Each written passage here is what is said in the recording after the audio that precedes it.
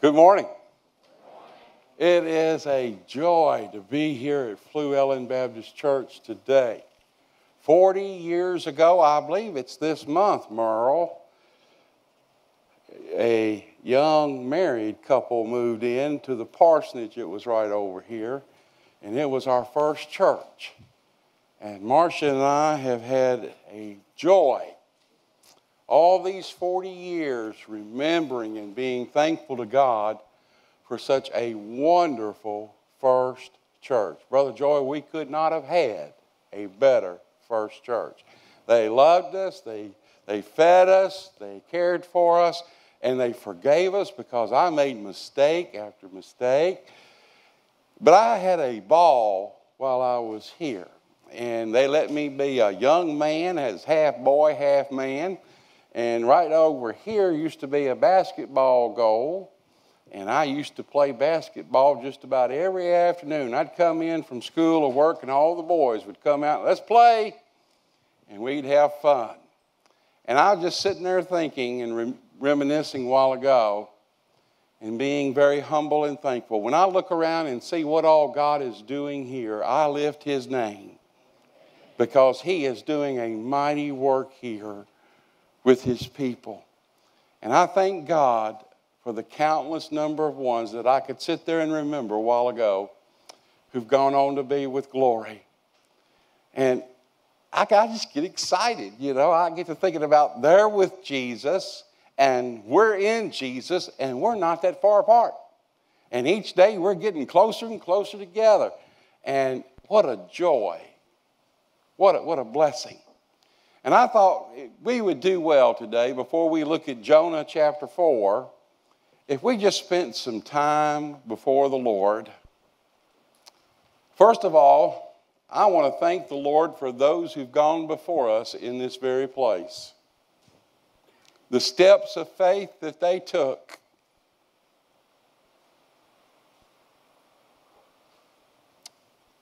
Have brought forth great fruit. And I was sitting there and I was already thanking God about those who are yet to come here. Because I see brighter days for Flewellyn. And the people that you're going to touch and you're going to reach, you're going to win to Jesus. And I was thanking the Lord for so many faces that I have no idea who you are. But I was thanking God for you and the impact that you're making. So let's just let's just bow, okay? Heavenly Father, we, we humble ourselves in, in this place and before you because, Lord, you are an awesome God.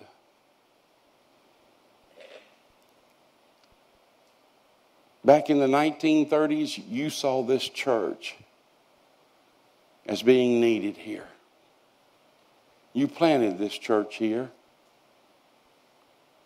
And Lord, it has really grown. Thank you for those who labored in the past. Thank you for those who prayed in the past. Thank you for those who gave of themselves sacrificially in the past. Thank you for the life that they lived and the way they touched us. Thank you for the people who are here now. Thank you for the love that is here. Thank you for the sweet fellowship. Thank you for the openness. Thank you, Lord, for the way you are empowering your people and you're blessing your people. Thank you, Lord, for what lies ahead. Thank you for those who are going to be coming. Lord, thank you for blessings. Thank you for loving us. And bless us as we're in your word today, Lord. Holy Spirit, move and speak to all of us. Oh, just take the meditations of my heart, Lord, and use them for your glory. Put the words in my mouth that would exalt you. And bless us as we have table fellowship a little bit later and share your love with each other. In Jesus' name we pray. Amen. Jonah is one of those very interesting characters in the Bible. You remember it's a well of a story, don't you? But when you stop and you, and you think about it and, and you go back and you read it, you find out not only is it about a great fish story, and not only is it about a grouchy prophet. You ever seen a grouchy preacher? No, no hands raised. And, and he was called, you know, by God to do an amazing work of God. And, and when you read the account of this reluctant prophet, this prophet that didn't want to do what God wanted him to do, and yet God worked through him in such a way that it was truly one of the most remarkable events in the scripture. One of the greatest outpourings of God's grace and mercy on a group of people that didn't deserve it and didn't want it, but desperately needed it. And you find that, that, that here's a man who goes to a place that he thought was no way God could be there, and God showed up and God showed out. And as best as we can determine, it's somewhere between four and 600,000 people responded to the message, repented, got saved, got right with God. And you won't find another event like that in the scriptures. But we need to go further than that, and we need to dig deeper. Let me ask you a very personal question Are you living up to your name? You see, Jonah's name means dove, and he was anything but a dove. He was more like a dud than a dove. Are you living up to your name in Jesus? Aren't you glad today that you could say Flewellyn Baptist Church is living up to its name in Jesus? And that's what we all must strive to do. When you go back and you study more about Jonah, you find that he comes from an area where everybody said, Does anything good come from there?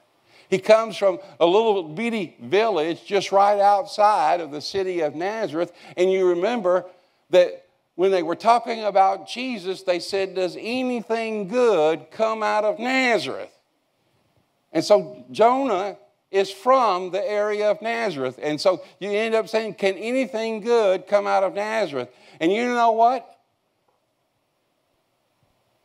Anything can become good if God is in it.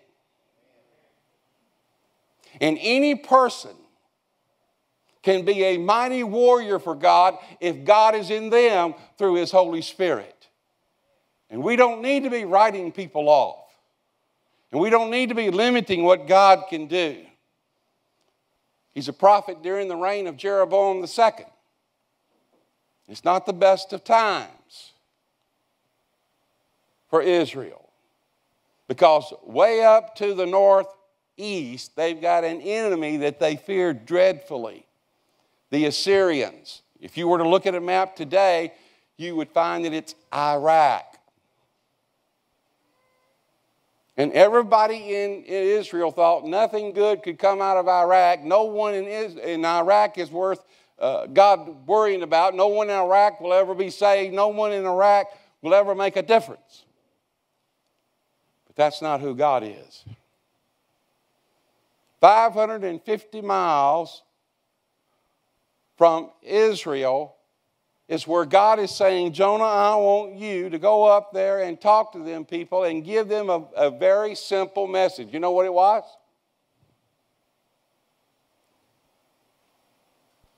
Wasn't very elaborate. Repent or else. God is going to pour out his wrath if you don't turn to him. And that was it in a nutshell. And they didn't sing 16 stanzas of Just As I Am after that.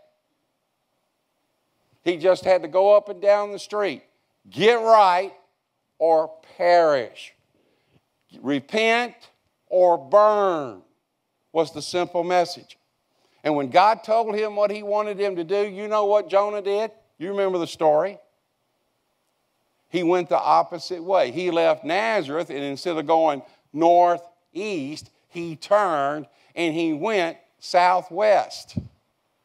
And he was out trying to outrun God. He was trying to get away from the presence of God. And so he went down to Joppa and he bought a ticket and he got on a boat. For where?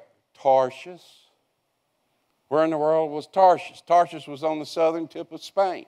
And in Jonah's world, everybody thought that Tarshish was the, the end spot, the jumping off spot. You didn't go past Tarshish because the world was flat.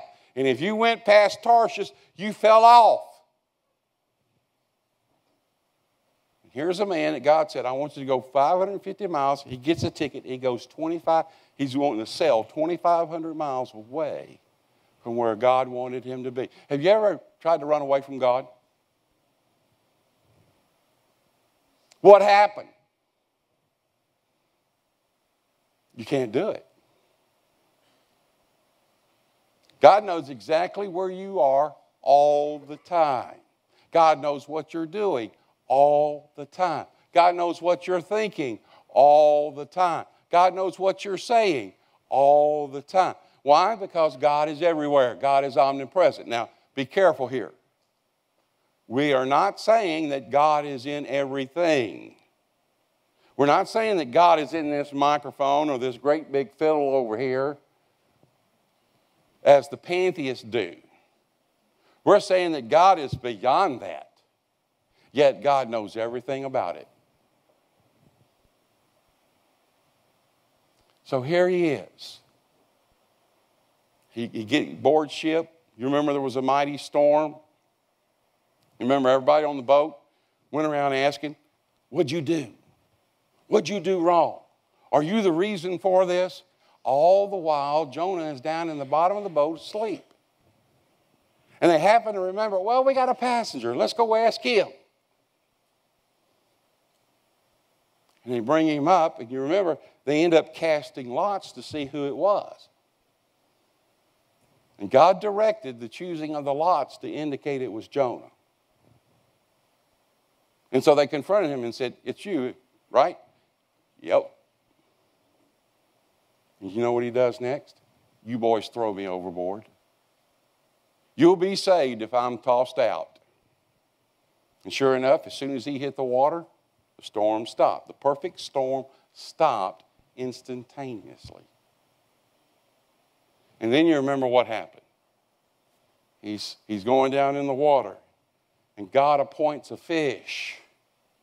What it literally says in the Hebrew. It doesn't say well, it just says God appointed a fish to swallow him and to keep him for three days. And, and I'm one of those weird people. I get to thinking about that. You know, there must have been a large air cavity in that fish. What did he drink? They're in salt water.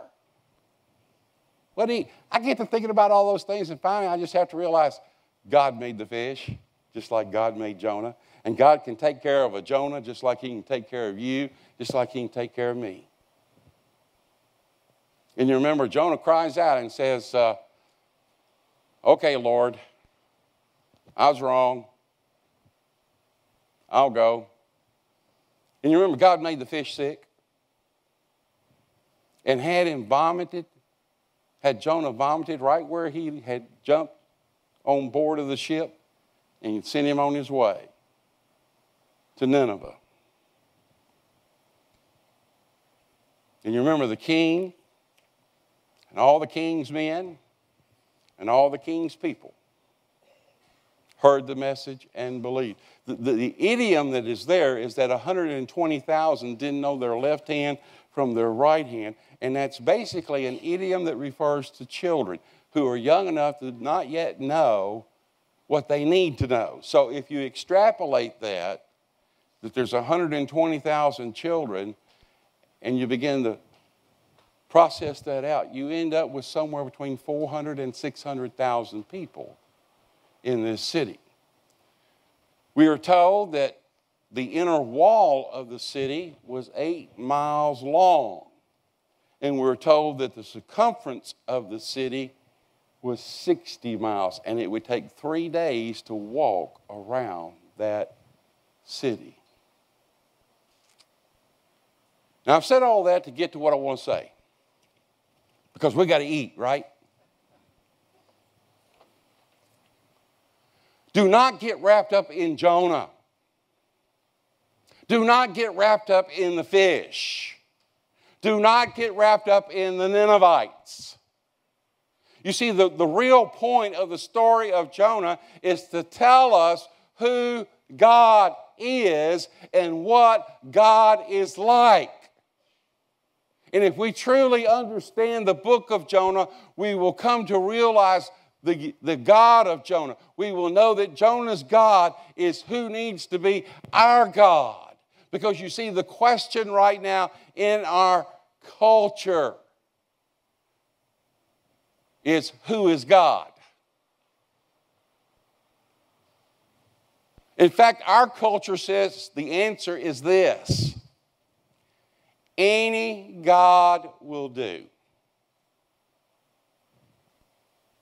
If that God works for you, great. Don't talk to me about it. Don't tell me about it. Don't show anything about it. Leave me alone because I'm going to find the God who works for me. That's where we are, folks. And that's who all these people out here are. And they're all thinking, I can make a God of my own making, or I can choose somebody else's God, but I'll find God my way and I'll make God who I want him to be. And that, my friends, is a lie.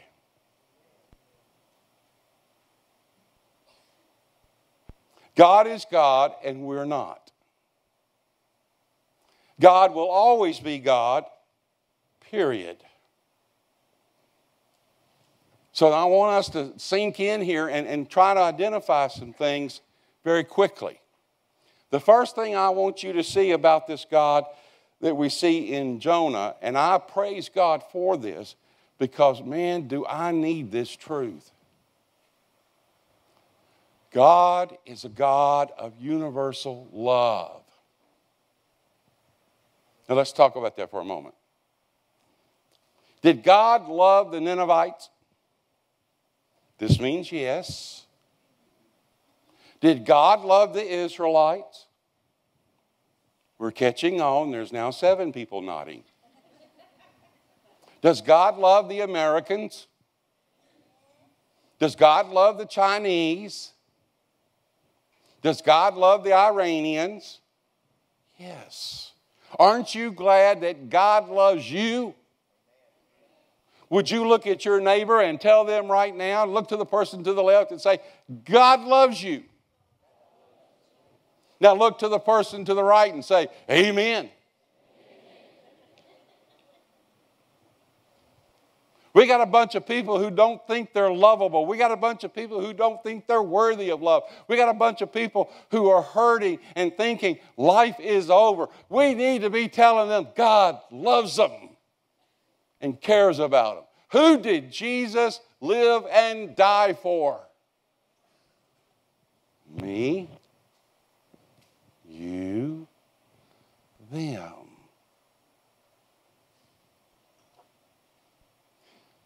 Nowhere can I justify in the scriptures that you and I would say that we ought to believe in an exclusive God who only loves people like us.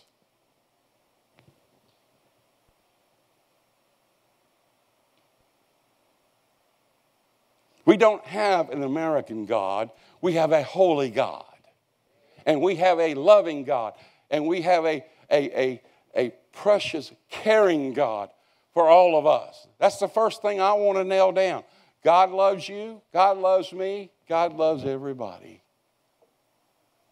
Doesn't like what we do, but He loves us. And that while we were yet sinners, He sent His Son, Jesus, for all of us. Here's the second truth the God of Jonah and the God who loves us is the God who's in charge. He is a sovereign God. He is a high and holy God. Does, is God ever taken by surprise? No. Does God, don't buy into this theology. Brother Joy would tell you about 20 years ago, we had a theology that came from the West Coast, and it's gained and it's grown, but it's still wrong. Who tell us that God doesn't know what He's going to do until He sees what we're going to do first. God knows what we're going to do before we even know what we're going to do. The spinoff from that is, is that God has to wait and see how things are shaped and formed before he decides to act. I want you to know he decides to act long before we ever got on the scene. I don't know how you read that phrase in the scripture, before the foundations of the earth. That tells me that God knew about Brother Joy before Brother Joy was ever conceived in his mother's womb. And God knew he was going to be pastor of Flewellyn Baptist Church before you ever knew how to say your first name. Right? You see, when I, I don't understand all of the sovereignty of God, but this much I do know. God always knows what He's doing, and God always does the right thing, and God is always on time. Now, I struggle with that. Don't you? You see, I just finished 13 years at Southern Heights Baptist Church as their pastor, and I'm waiting on God to give me another assignment. And I'm saying, Lord, it wouldn't, it wouldn't hurt me if all if you showed up early. But I have to learn to wait. Why? Because as our dear brother in Atlanta, Charles Stanley, reminds us over and over and over again, God not only knows what He's doing, but God always does what is best. God never does second best. Third truth that we need to nail down. This is one we don't want, we don't like, but it's still true. God will chastise us, God will discipline, God will teach us, God will disciple us when we're wrong. Anybody here ever blown it? You know what I'm talking about. Now, one of the true marks that you belong to God, that you're a child of His, is that He won't let you get away with it. Now, if you can do wrong and get away with it, then you really ought to be questioning do you really have a relationship with Him?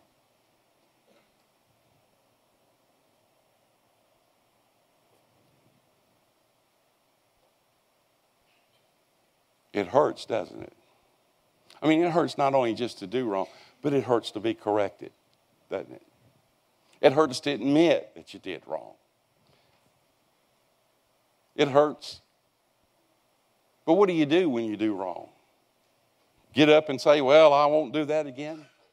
Yes, you will. If you get up without turning to Jesus and running to Him, you'll do it again.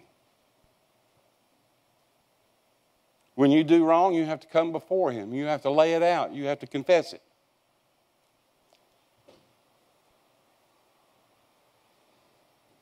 And you have to return from it. And that's the thing that Jonah misses.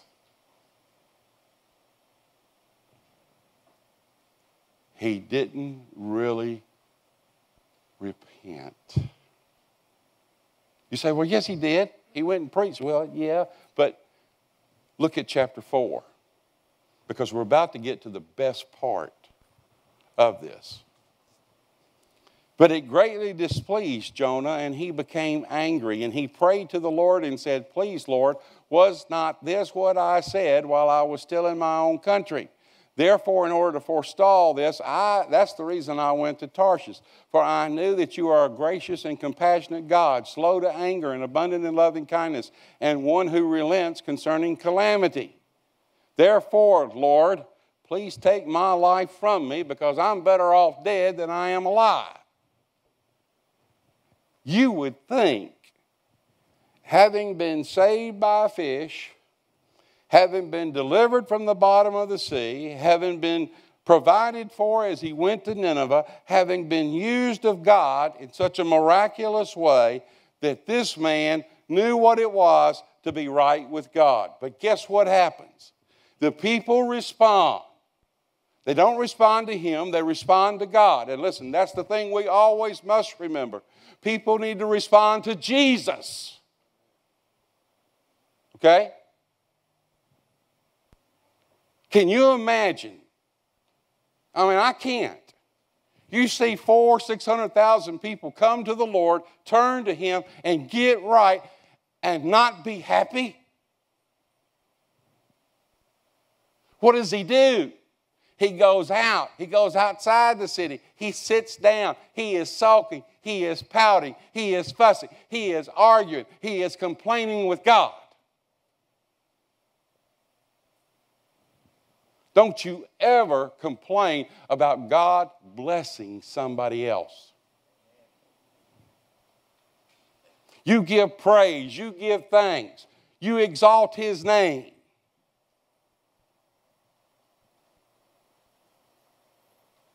And here he is sitting under this stupid bush. And well, it's, it's not stupid, God made the bush. Okay? Here he is, he's sitting and he's sulking and he's saying, oh, I told you that would happen. I told you if I went there and told them about you, they'd believe in you, they'd turn to you. I told you they, they didn't deserve it. I told you you ought to just wipe them out. Who does Jonah think he is? How dare he say, Lord, I told you so.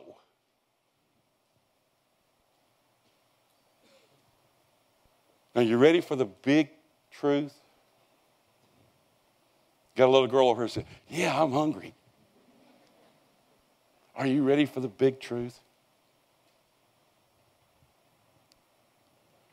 God was as eager to save the Ninevites as he was eager to save Jonah. God is eager to save you. God is eager to bless you. God is eager to anoint you. God is eager to fill you and empower you. God is eager for you to serve in His kingdom. God is eager for you to be a minister of His grace. God is eager for you to show God's mercy to others.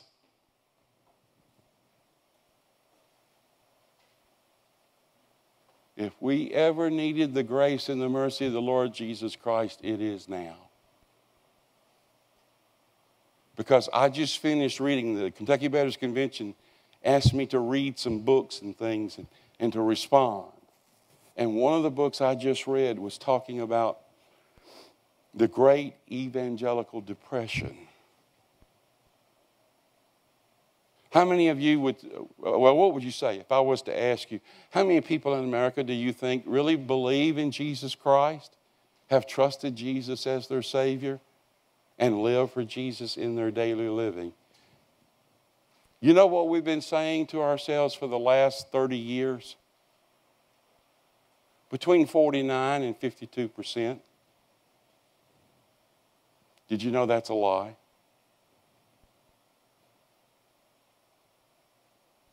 When we talk about people really knowing Jesus, loving Jesus, serving Jesus, walking with Jesus, and living for Jesus, the number comes down to 9%. Let me break it down for you. Up and down Flewellyn Road, if that was like any street in America, you can answer the question if it is. I happen to think it's better. But if it was just like any street in America, only one out of 10 people would know Jesus as Savior, live for Jesus as He is Lord, and bring glory to His name.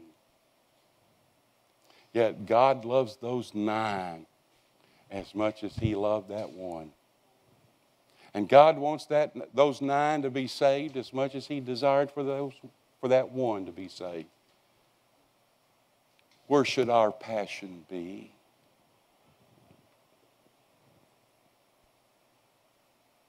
it should be with Jesus. We should have his heart, shouldn't we? Now we come to the moment of decision, and it's very, very important because you see, I think homecoming is more than just eating food and seeing each other and so forth. I think it means we need to come closer to the Lord. Don't you? Brother Joy, can we use this as an altar here? Praise the Lord. I want to ask you something. Do you need to be just one inch closer to Jesus than you were when you came in here? I want to challenge you. Did you know that in his heart, he desires it more than you could ever dream of? When we sing in just a moment, I want to ask you, those of you who are in Christ, those of you who are followers, I want to ask you to set the example. I'm going to ask you to come forward and say, Lord, I want to move closer.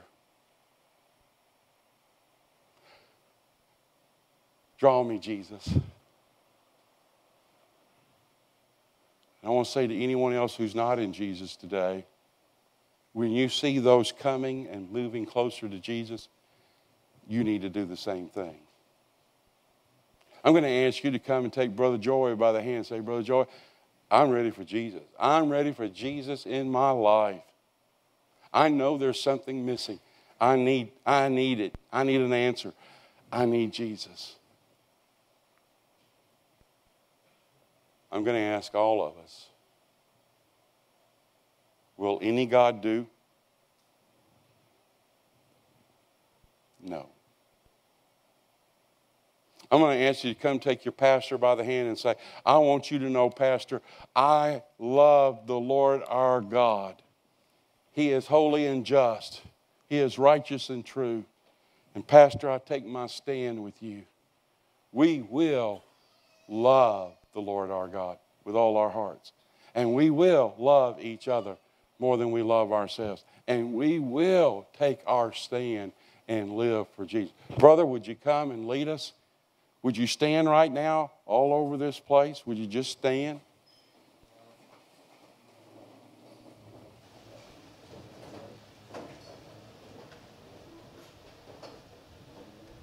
Now, I want you to think about who you're standing before. Not me, not Brother Joy, not the guys up here. You're standing before the living Lord. Can you feel His presence?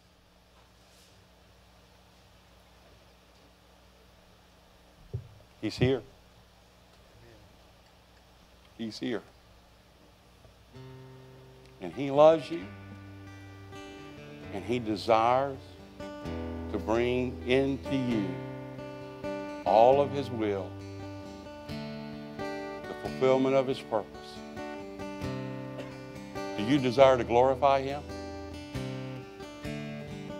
I pray that you will. Father, bless us now as we come to this moment. Holy Spirit, move upon us. We don't want to do anything what the Spirit leads us to do, but Lord, what your Spirit leads us to do, give us faith, give us determination, give us the ease to do it. And Lord, we would not be ashamed of you and we would not be ashamed of the gospel, but that we would take our stand right now for your name and your glory.